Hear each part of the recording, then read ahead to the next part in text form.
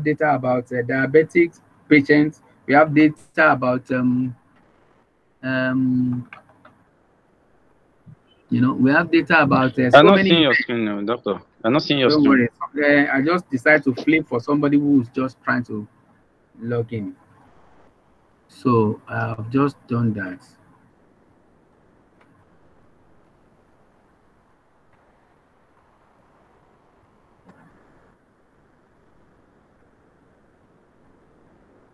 Pardon me, please. So um, my screen is back.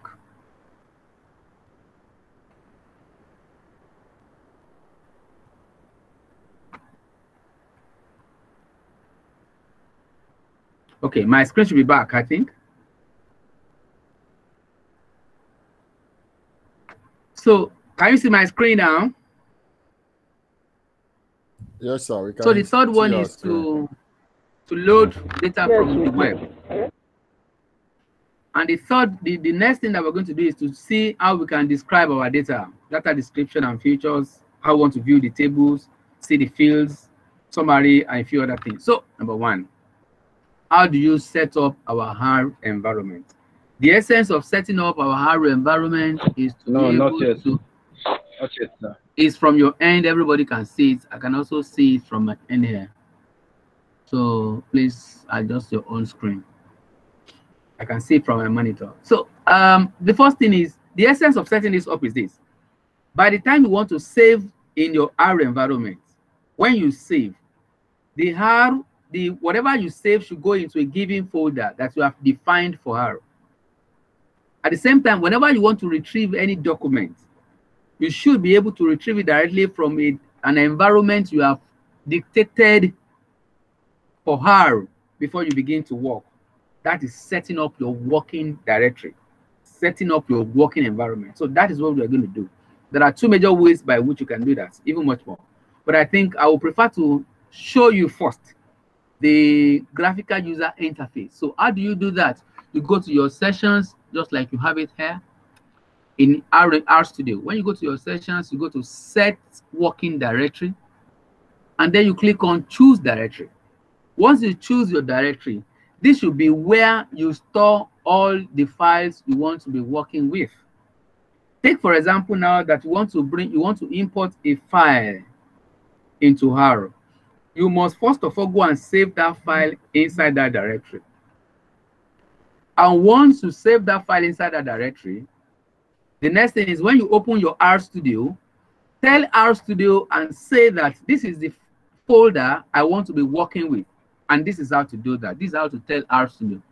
You just go, like I said, you go to your session, go to set working directory, and from there you choose directory. So I'm going to demonstrate it from R Studio here so that it will launch us into uh, that environment. So I'm in my R Studio and I click on session to go set working directory. There are a number of things there which you can use, but for now, let us choose the last option, which is choose directory.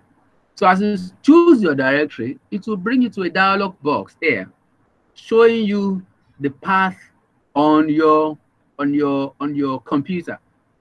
So for me, I always like to go to analysis. There is a folder I call analysis on my computer. So I have to navigate to that. That is where I save all my files. So I have to navigate to that and click on analysis. Let me search for it here so that I, can, I will know the path to my analysis folder. It's a folder that I can analyze. This is it here. And that is my user Awole document analysis. So which I can I can get the path here and copy it into the memory of my computer. Uh, analysis, analysis. Where is analysis? This one, take me to analysis. Okay. So let's say I have analysis. Um, okay, this analysis here. So you can then copy this path if you like into the memory of your computer. Now go back and click session, session, and say working directory and click choose directory. So you can come in here and paste that path and press your enter. So that will launch you in your analysis directory. Or in the alternative, you can search for it and be clicking, be clicking on together. So once you get there, you just click on open.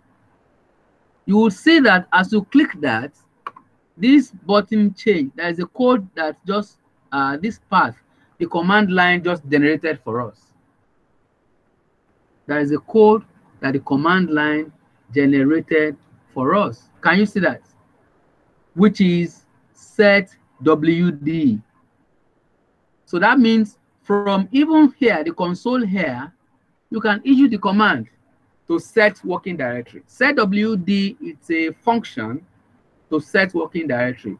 So once you click set working directory, the next thing for you is to put in parentheses the path to your directory which you want to use. So let's go on with our PowerPoint presentation. So like I said, um, to set up working directory, you can also use the command line. In the command line, there are two useful commands in this instance. We have the set working directory. These are the, the two functions to set your working directory if you don't want to use that previous one. So there's another one to get the working directory. That means when you first of all get to your RStudio, you have to check which directory is active. And how do you do that? You use your get working directory, get WD, and then you make sure that to know which directory you have. So that one will show you that you are working in this particular path.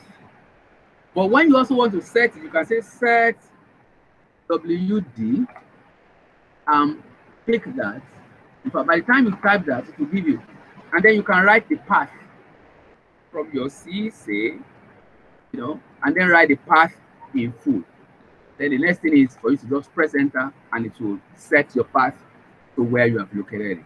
Uh, but I think the easiest one to avoid so many questions is to come in here, set working directory, and then click on choose directory. And then you can choose whichever file or whichever folder you want to work with. Let's say I want to be working in my coronavirus path. I'll just click that and say open. And you find out that this guy will just set my path directly by writing a code for me. So this is the code for the menu you have used. So if you are compiling a code you want to automate, you want somebody else to be able to do it without going through the command, I mean, without going through the uh, graphic user interface, this is the code that will do the same thing that you have done in the GUI environment. So, and then this is what I have done here. So the next thing here for us is to begin to read data now into our from our local system. On my local system, what we want to do now is so a file is named iris.csv which is located on our computer in the following path, which is C users Awoleye document analysis. Like I told you, I always like to put my files in analysis. So within the analysis, it says open the file following the given path and inspect the same, inspect the file. How many fields does it have, as well as how many cases does it have as well, referring to the file iris.csv stored in the analysis folder. So I'm going to go to my analysis folder first to ensure that to first of all inspect that file.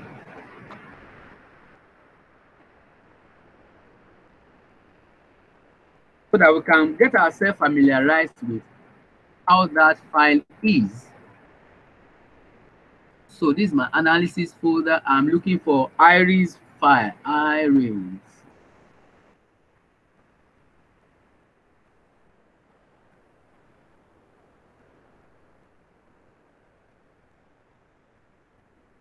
strange. I can't see my iris again.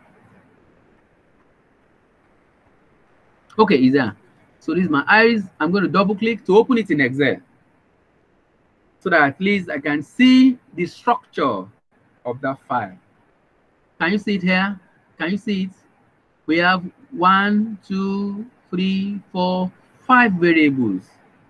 The first one consists of, let me blow it so that I can be big. And you see we have separ dot length, separ dot width, we have peta dot length, peta dot width, and species. You know, it's about five fields, five fields of data set. And if you look at this last data set, we call it class, class data set because it is not numeric. This is not numeric. This is more like a nominal data set. I mean, this particular variable, this species. So this is more or less like an output variable that we can uh, that can be determined by all other combinations from all other variables. We're going to be doing that when we get to regression. So setosa, setosa, setosa, setosa, and we also have very basic color and a number Virginica and all of that. So the most important thing is we have five variables and uh, how many cases? How many cases do we have? Let's see. Let's go to the end. We have um, 151 cases. It is not actually 151. You will notice that um, this is telling us 151, is that not? But then you will notice that at the beginning, the heading is occupy the first space. So we apparently have one, uh, we apparently have, um, what do we call it? We apparently have um, like 150 cases. 150. So we have 150 cases. So the next thing we're going to do now is to go back to our R and import this file into R. So I am going back to my R and then I'm going to import this file to R. Like I said, how do you then import file into R? So the command to read the file is read, read.csv. And then you call the file. What is the name of the file? The file is um, iris, I-R-I-S dot CSV. And your, the name of your file must be inside the inverted, uh, must be in quotes, which is what I have done. And the next thing for you to press enter. No such file or directory. Read.csv into iris.csv. Okay, what happened here? I, oh, oh, because I I don't know. Let me check my directory. Let me check check my working directory. Um, to check my working directory, I'm going to do what? Get working directory. Where am I? I'm in coronavirus, so it won't work. You won't find the file inside coronavirus. So the next thing for me is to set it back to where the file could be retrieved, which is the environment of my Analysis. Thank you so much. Set working directory, choose directory, and I look for analysis. And I think I still have it in memory. Maybe yes, I have the analysis. So this is my analysis. I just open. The same code that did not work at that point, I'm bringing it back again. I will just um, can you see? Can you see that file is loaded here immediately? But you cannot see that file from the beginning. You cannot see that file from the beginning. So you have to scroll, scroll, scroll, scroll, scroll to see the beginning of the file. Oh, this is our file here. Now we have our file here. But let me also tell you that it's also important for you to specify a better way of telling the computer, telling her to let it know that the file I want to bring in has header. You know, it has header, it has label on top, or it, it the name of variables. That's what we call header. So it is also important for you to tell the computer, to tell R, that the values that you are bringing, they are separated by either space or comma. You know, it depending on what you are doing. When, some people prefer to type in their code by separating with space, space bar, next one, space bar, next one. So in that instance, you have to tell the computer that the file that is coming, it is coming equipped with uh, spaces. So wherever you see space between one value and the other, uh, recognize that this, is the separator, it is space. But if you have not separated with space, if it is comma, you tell it that the separator is comma. So how do you do that? You are going to issue the command this way uh, which is um, you just say read again. You can you already have your read CSV into after that one you put a comma to put another argument, the header, to tell you that uh, this thing has header is true. Put another comma so that will tell you that we have a separator in between the values. So that's your separator now. You put it in double, double, double inverted comma. and you put a comma in between them, telling it that oh, what is coming the separator here is what? It uh, did I put separator? I need to put separator now. Need to put separator before typing. So the true sep separator is sep. You accept that, and then you put it in the um, inverted commas, and then you put your comma. That is all. But at the same time, there's another argument. You separate it. You know, command by command will be separated by um, comma. Another one is string as factors. As you are typing it, it should bring it out for you automatically. String as factors. Sorry. String.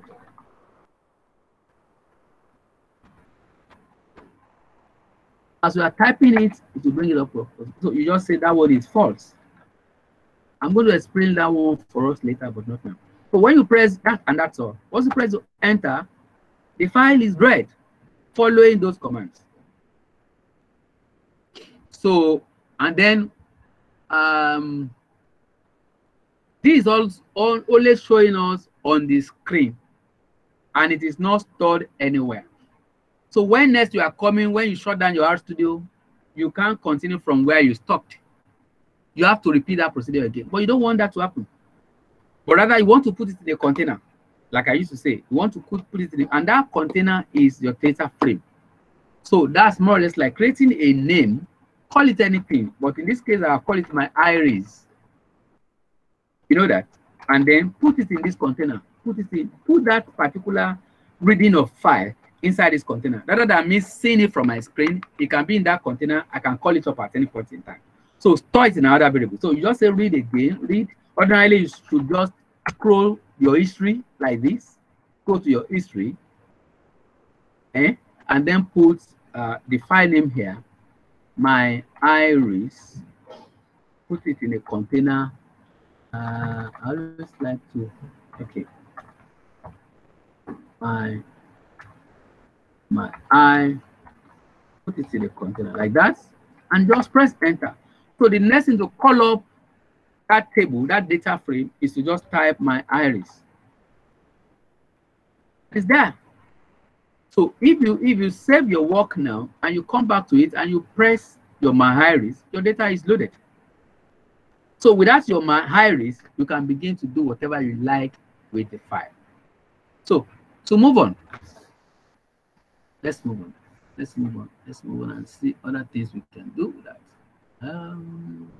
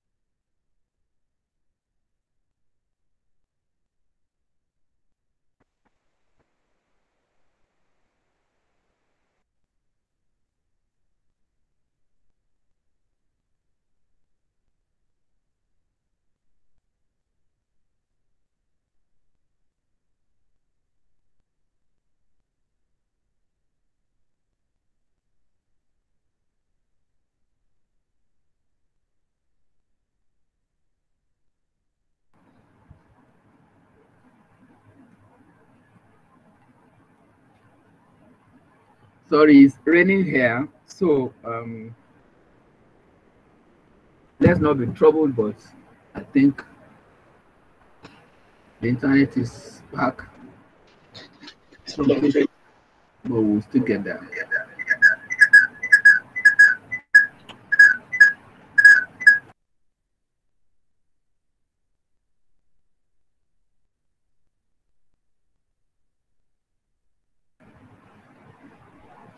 So, okay, so let me go back to the slide.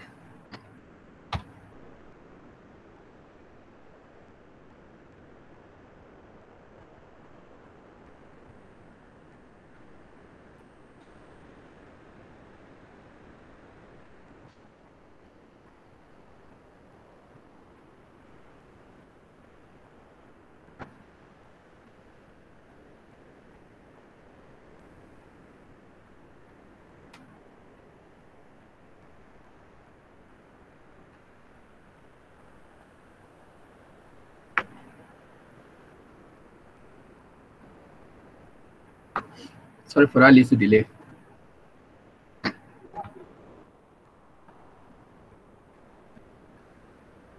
So now successfully we have been able to uh, know how to open our files from the local system. So the next thing now it's uh, while our file is opening. Yeah,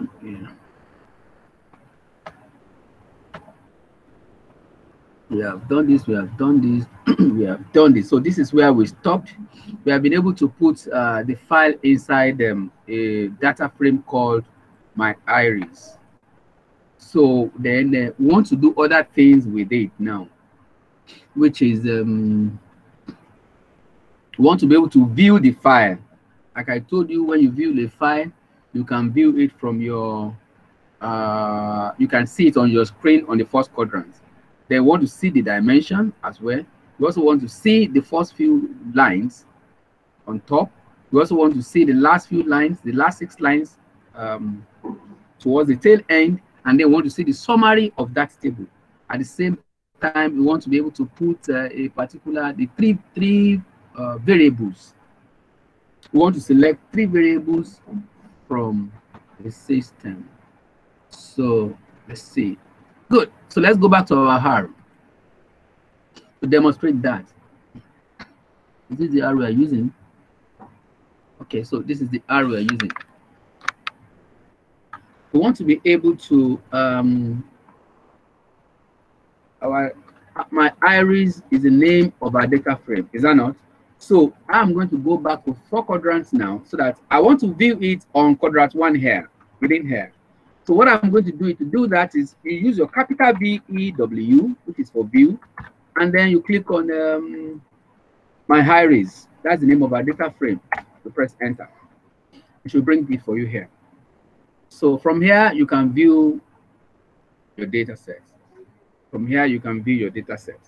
You can see this is very similar to what we viewed in um, in Excel format. So at the same time, uh, you don't want to be scrolling, scrolling, scrolling. You just want to see maybe the, the first few lines on top of the data set. And how do you do that? You, you click head to see the head of my iris. Once you click that, you can see it here. You can see the first six files here. Then you also want to see the last six lines tail, that's the tail. You want to see the tail end, the last tail, uh, the last uh, six lines towards the end of the data set. My iris. So click that and you see the last six lines. You can see, you can see that. You can see that uh, Virginica is different from Setosa. So this is the last, if you look at that, this is 150, uh, 149, 150, from 145, 46, 47, 48, 49, 50. Displaying that to you. So also you can also do um, you can also do uh, the dimension. You want to know the dimension at a glance, like we saw there. We we also I can't remember. I remember apparently, but let's let's pretend I do not remember what we uh, opened in Excel because we checked the number of variables that we have and we also check the number of cases. So here, if you want to know that, you just say dim. Dim is the command in R to represent dimension. Dimension of what? Dimension of my data frame, which is my iris. You do that and you press enter. It's telling us that the dimension here is 150 by 5, meaning 150 rows and 5 columns. Like you can see, it's also very obvious here. We have 5 columns here and 150 rows. You can also do a summary. You can do a summary of that. That is statistical summary. We want to, this is more or less like um, a descriptive statistic you want to do the summary of my iris, the summary of my data frame. So here is the, there you go. This is the summary of the data frame.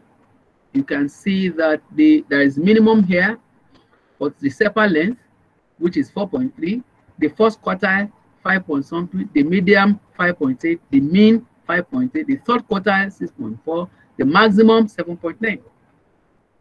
The same thing goes for another variable, for the third variable, for the fifth variable, and for the fifth variable. You can see that the fifth variable could not summarize because it is not a scale. It is not numeric. There is no summary that can be given other to give you the characteristics that this is a character or this is a string. I cannot summarize. That's what it's telling you here. So that is that. There are a number of things which you can perform here. At the same time, if you also want to select only three, only three, uh, only three columns, you want to knock out, okay, let's say four columns. You want to knock out the, the outcome column. You don't want it to be part of what you want to see. All you need to do is just say, um, um, let's see here. Seconds. And you see, my iris put it into that container, into a new container, if you like.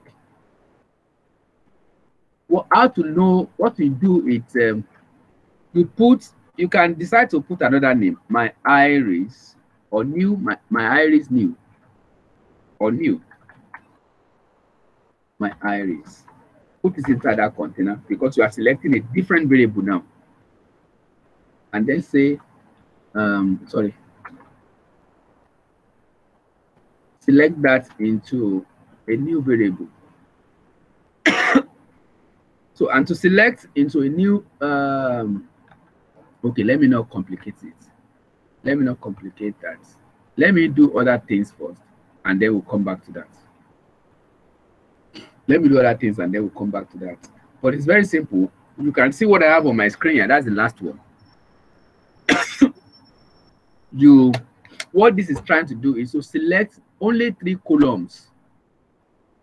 Selection is done by double brackets. It is not that uh, normal bracket, like angular brackets. Saying that select my iris data frame.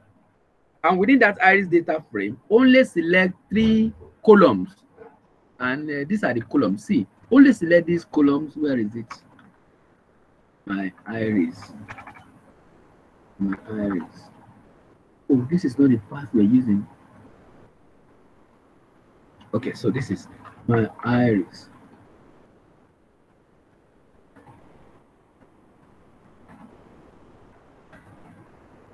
You understand? We just want to select these four columns. My iris, which is this. Excuse me. Only select um, one to four. Let us select one to four and that is what we have. But it's only displayed for you on the screen. But let us now put it in a container. Let's say four, four variables. Four, okay, my iris four. Put it in the container and say my iris four. So by the time you view that, view my iris four. Okay. My iris four. Oh, bracket.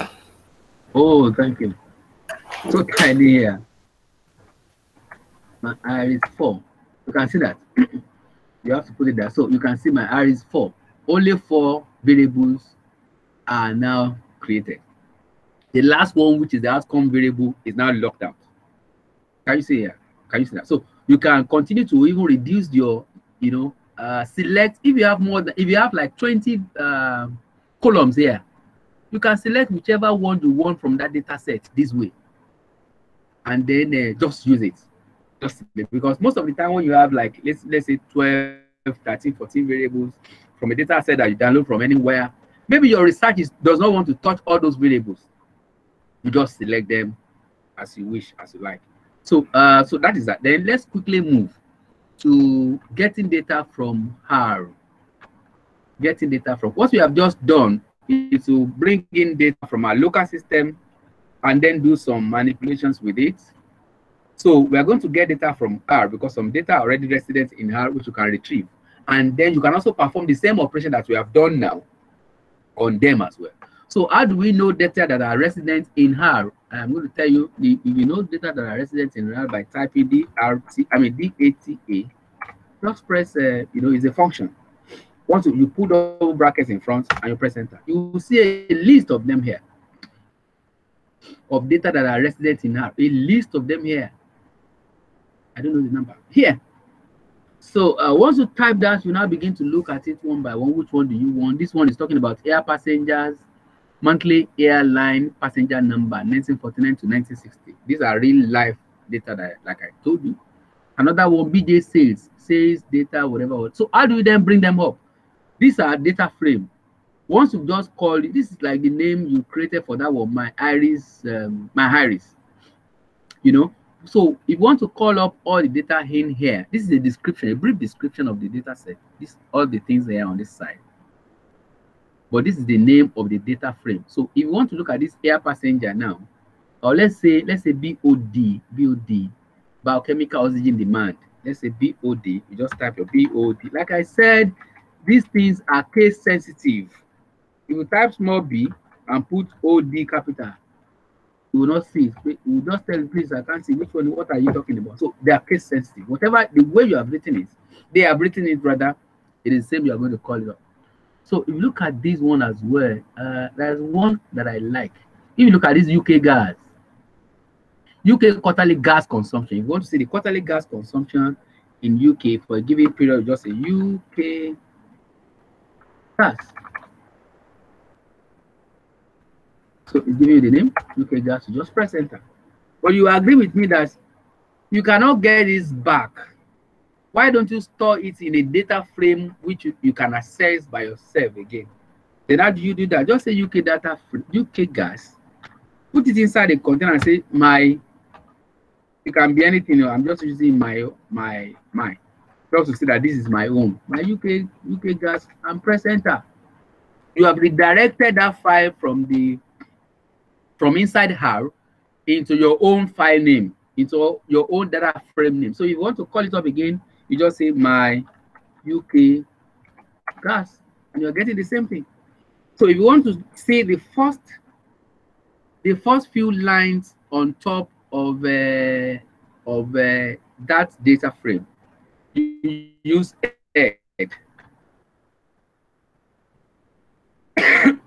Sorry, just took lights in my place.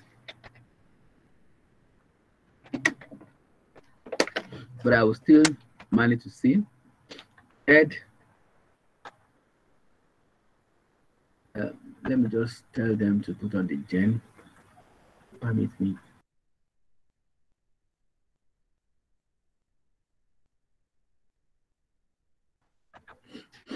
So just add add um my UK whatever. I've not seen light stuff my so my my sorry. okay. Okay, my UK. Uh -huh. So it's bringing that. So that will show you the first few lines on top. The first few lines on top, and that's what you have. You can also do the same to say, okay, tail. Give me the last one towards the end. My UK gas, and that's what you have. you can also do summary of that as well. Summary.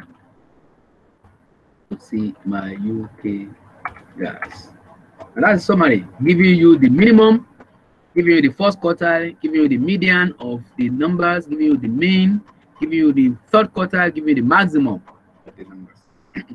so uh, these are the two ways, and then we're going to check the third way of uh, the third way by which you can you can bring your data, yeah, into your into your. But let me check my guide to be sure that I did not leave anything out before I move to the next thing. So yes, I have done that. data set in R. Yes, this is it. And then now reading data now from the web. The last thing for tonight is to be able to read data from the internet, to download data from the internet. Who is this Rachel? I don't know whether this person is part of us, but I will just admit and then later fix. So, okay, so that's fine. So the next thing now is to uh, check a file that is available in a given path. That path must be known.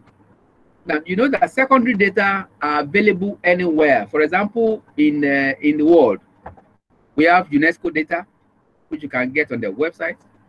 We also have uh, ICT data, which you can get from UNCTAD, ITU. We also have uh, some other data which you can get from World Bank, World Bank uh, website. They have a number of uh, data for different for countries of the world. Uh, we also have different other data in different places, which we are still going to continue to see. A number of resources which you can use. Uh, we also have um, uh, for so many things in America and in different places. So here, this particular path, it's a known path on GitHub for records of prisons, you know, prison data sets of prisoners.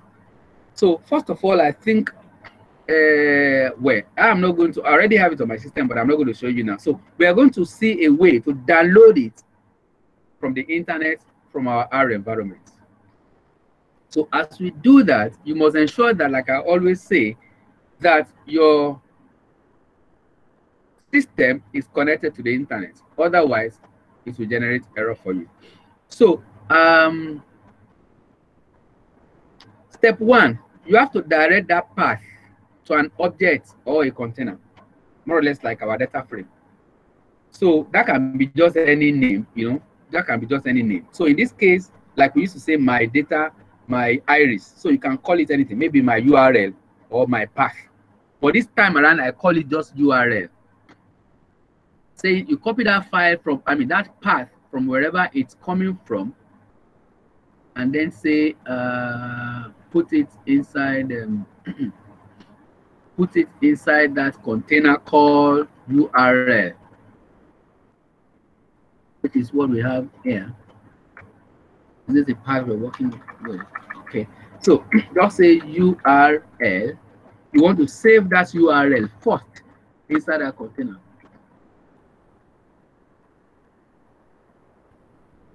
My partner copy. Attempted to copy. Let's see. So you must be. Uh,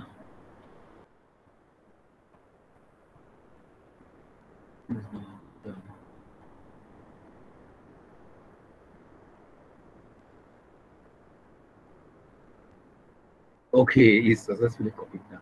So you copied that inside the, but you must make sure that it's quoted on both ends.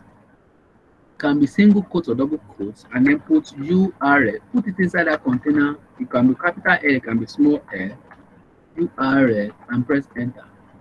Once you do not have any error, it shows that it's already, if you just type your URL now, it's bringing it up. It's bringing that particular thing up again but you have not done anything. So what you have to do next now is that's step one. Step one is successful. So you now have to create a data frame by reading that thing actually into your R.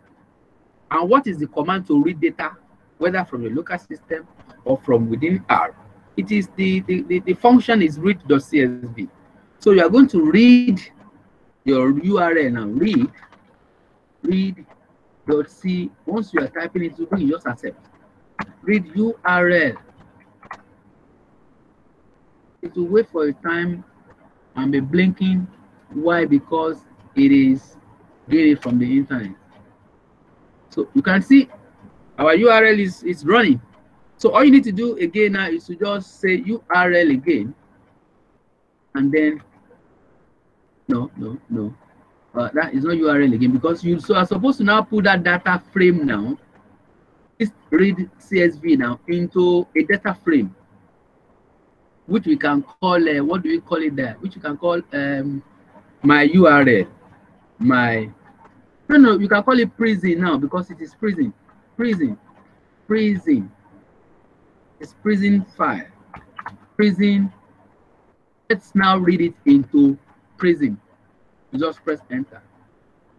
So to wait for a few seconds and the word is there. So just say prison again to see what is downloaded for you.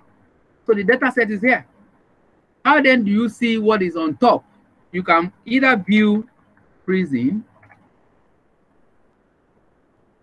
to see it here in the uh, press enter. To see it here. Can you see? It's displayed it here in the first quadrant here. That is your prison with so many uh, columns, so many columns which we do not know the number yet. We do not know, and we do not know the number of cases. How do we know that? By typing dim, let us look at the dimension. Dimension of prison. Prison. The dimension of prison is what? Is coming, is counting it. Why is it taking time to count dim?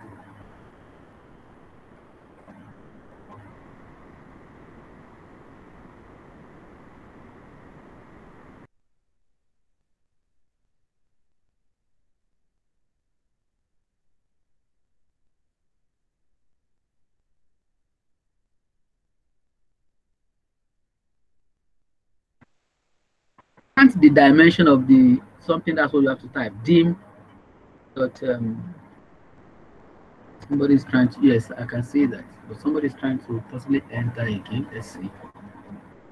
You know. So it's back. You can see the dimension. 714 lines or rows and 46 columns that is the dimension. You can also do the summary all the variables you can also do so many things to uh, to process your data. You can see the beginning. Let's see, we want to see the head of prison. Prison. We want to see the first few um first few yes, you can see that. You know, and then from here we can easily see some of the areas as well, some of the uh, variable names. Then you want to see the last one. Uh, what do you do? The last one, what do you do to check the last one? That's your tail. Tail tail prison. You know, that's what you have. So you can also do so many things. You can begin to do so many things with it. You can plot your regression. You can do your ANOVA with this one. You can do whatever you like with it. You can do some. You can do some descriptive analysis. You know, from this variable. So tonight we have been able to successfully see how we can load files into the memory of the computer. So we have used three ways by which, okay, this is the last thing I want us to do. I think I could quickly show us. So because what you have done here, you have only saved it, put, uh, bring it up on your R. You cannot have it on your disk. If you go back to analysis, you will not find the files there. But when you open your RStudio environment, you can still work with it. Only if you have saved your working environment. You know? But you cannot have access to that file. Now, how do you that you have already downloaded the file here now? For example, this prison, you have downloaded it here, prison. Or you have not saved it on your hard drive. If you shut this one down and you come back again, or you go to your analysis from here now, analysis folder, you cannot meet this um, this prison file there. But how do you then save? How do you write this onto your disk? This is a single formula. So this is like uh, if you like, if you look at this one, uh, this is write write CSV is the command or the function which you can use to save your source file. This is source file, the main name of your file, and then the name you want to give it to give to the file when it's getting to the destination. That is the destination file. So in our own case, you're going to write this command, write the CSV into bracket, you know, is a function. So within that function, there are two categories. There are two, um, two, two partitions. The first one is the source file, which is the name of your data frame or the name of the uh, like we have in prison. We have prison in our own case. So this way is going to be prison. And then the name you want it to be bearing when it gets to your disk, you then put the name here. So which we are going to demonstrate now. So let's go to our right. Um, okay, you want to write onto your disk. As you just type right, you see write.csv. And then it will give you that. So there are two locations. The name of that, file, which is prison, comma, then what the name you want it to be bearing when it gets there, it's uh, what? Let's say also, you call it prison now, or my prison, my prison dot CSV because I want it to be comma separated. Dot CSV, and don't forget you have to put it in inverted commas. Put in inverted commas. So, and then you press the enter. File is saved in your file. Where do you think the file will be saved? Where do you think you have to look for the file? Because as it, as it is, that file is saved. Where do you think I should go and locate my file? Analysis. Analysis. God bless you. So we have to see it in analysis. Uh, so let me go to my analysis and check whether my prison.csv, I can search, even search from here. Oh, is is putting it, giving it the whole name like this. Oh, you have to. Don't forget, we made a mistake. We have to call it. We have the, our bracket. It? The quotation should be here. See, it should be in the name of the file, not from the file. It should be the name of the file alone should be quoted. Made a. You see this, so it will save it as this. So I can search for it here, my file you know, my prison, yeah. My prison. Can you see it here? It's already found here, which is located in my analysis. So I come to my analysis here and I look for my my prison. So if you double click this one now to confirm whether it is currently saved or not, you can see my file here. So you have successfully downloaded this my prison from the internet. And you have it now on your local system and you can begin to work on it. So tonight, happy, we're able to do, um, to see how we can bring files, data sets into our computer. From our local computer, and then from, from, uh, from our, within our R system, and from the web. And we can see how to do a few manipulations as well. So, and then at the end of the day also, we're able to write this away from the screen of RStudio so that when we come back again, we want to be able to export the file. Even when you open our email, we want to click that file we have downloaded from prison on the internet to send it to our friends or to do, to send it to our partners that we're working together. So we have seen that successfully tonight. So this is where we're going to stop tonight. So if you have questions, let me entertain them as we plan to close. So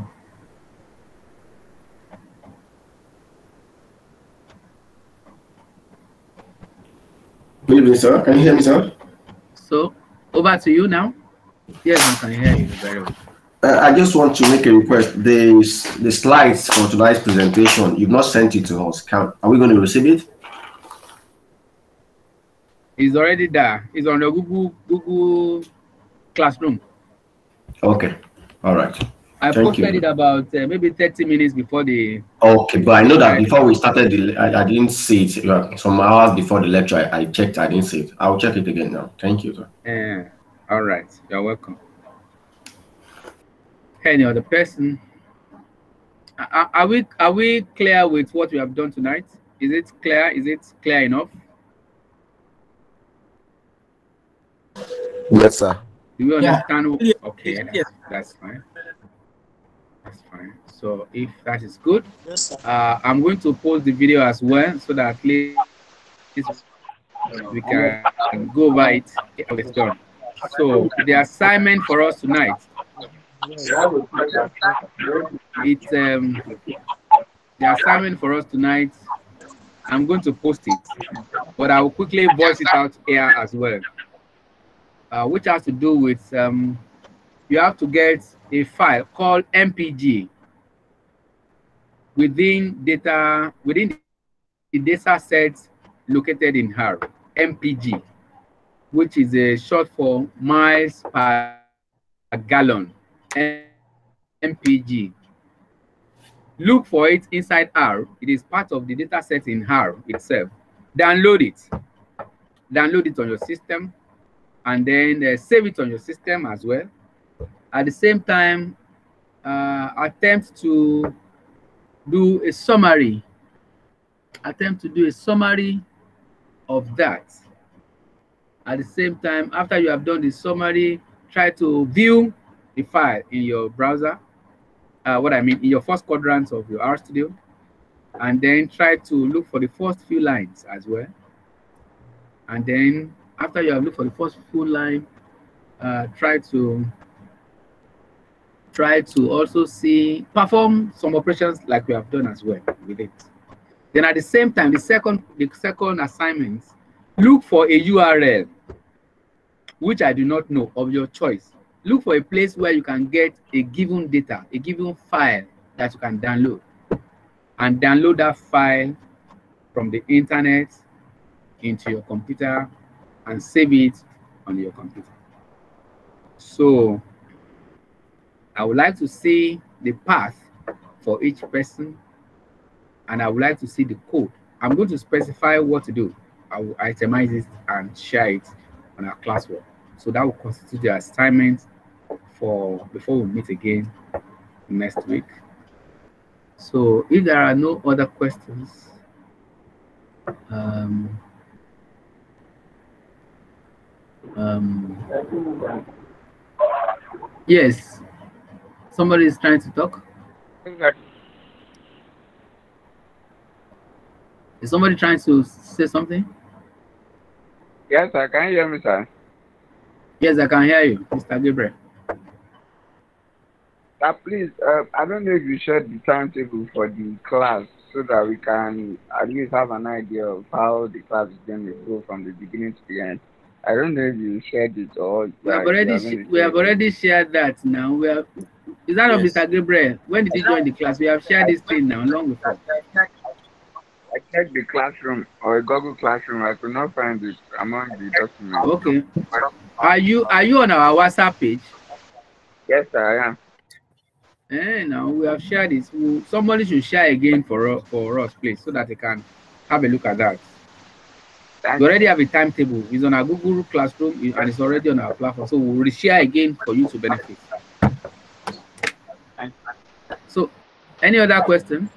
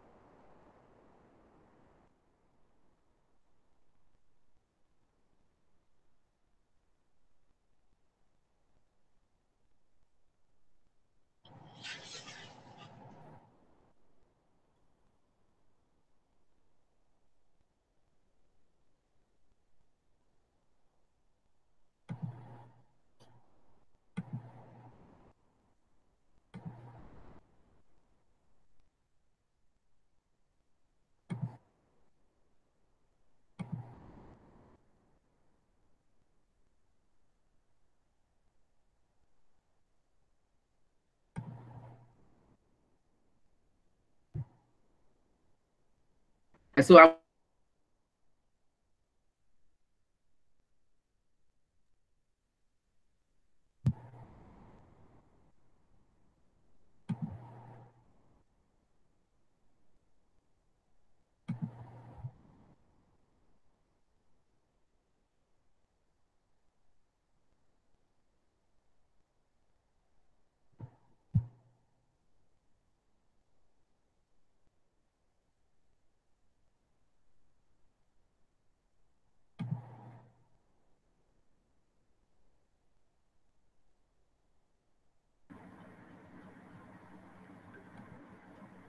So it's good to have you here. Thank you.